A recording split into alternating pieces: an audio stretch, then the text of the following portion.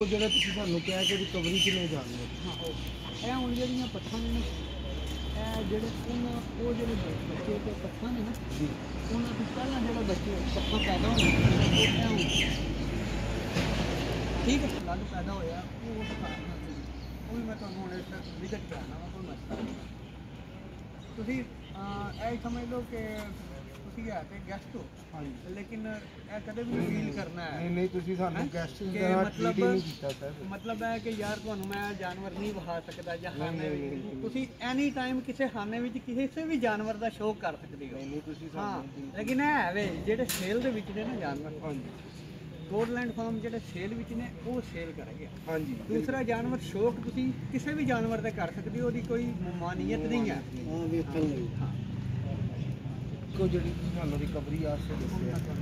ਅਸੀਂ ਕਹਿ ਰਹੇ ਹਾਂ ਕਿ ਅਸੀਂ ਇਹ 25 ਕਿ 30 ਜਾਨਵਰ ਹਲੇ ਪਾਈਏ ਨਹੀਂ ਮੈਂ ਨਹੀਂ ਆਖਦਾ ਹੈ ਨਹੀਂ ਨਹੀਂ ਮੈਂ ਮੈਂ ਆਪਣੀ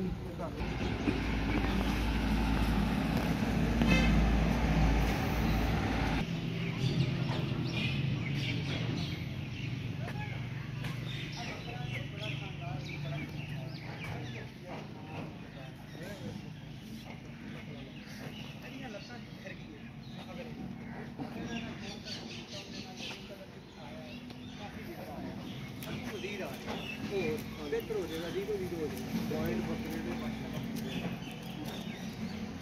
ਭਾਜੀ। ਇਹ ਬਿਨਾ ਸਾਡਾ ਵੱਡਾ ਬੱਕਰਾ ਹੈ ਦੂਗਾ ਅੱਛਾ ਇਹਦਾ ਖਾਣ ਨੂੰ। ਇਹਦਾ ਤੁਸੀਂ ਚੋਇਆ ਅੱਛਾ। ਪਰ ਪਰ ਪਰ ਪਰ ਪਰ ਉਹ ਥਾਣੇ ਆ ਗਿਆ ਆ ਗਿਆ ਆ ਗਿਆ ਤੇ ਆਪਣੇ ਦੋ ਥਾਣਾ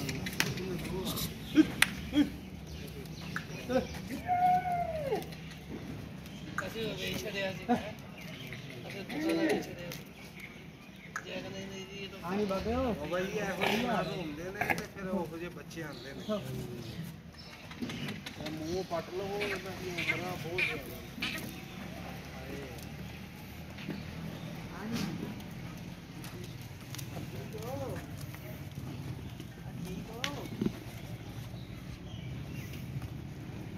ਇਹਨੂੰ ਤਕਰੀਬਨ ਕੀ ਮੇਰੇ ਚਾਲੇ ਸਹੀ ਹੋਇਆ ਉਹਦਾ ਖੰਡ ਕਨਾ ਉਹ ਉਹ ਖਾਤੇ ਕਰ ਡਾਕਟਰ ਨੇ ਉਹ ਉਹ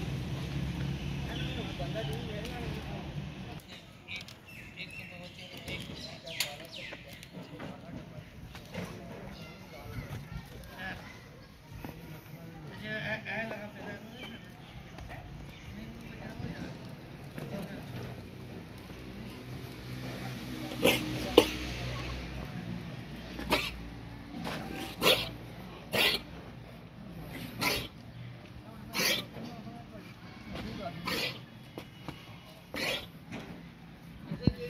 ਬਸ ਸਾਡਾ ਵੱਡਾ ਬਲੇਜ਼ਰ ਹੈ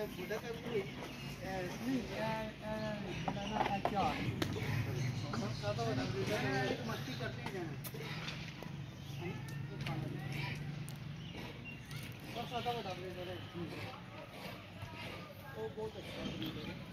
ਉਹਦੀ ਕੋਈ ਪੱਟ ਜਿਹੜੀ ਹੈ ਉਹ ਮਤਲਬ ਹੈ ਕਿ ਪੂਰੀ ਬਲਾ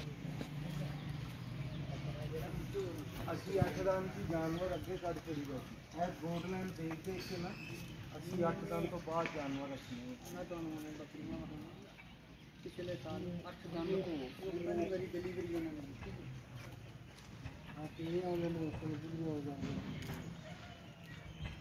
ਕਰਦਾ ਨੇ ਬਸ ਨਾ ਬੱਕਰਾ ਨੂੰ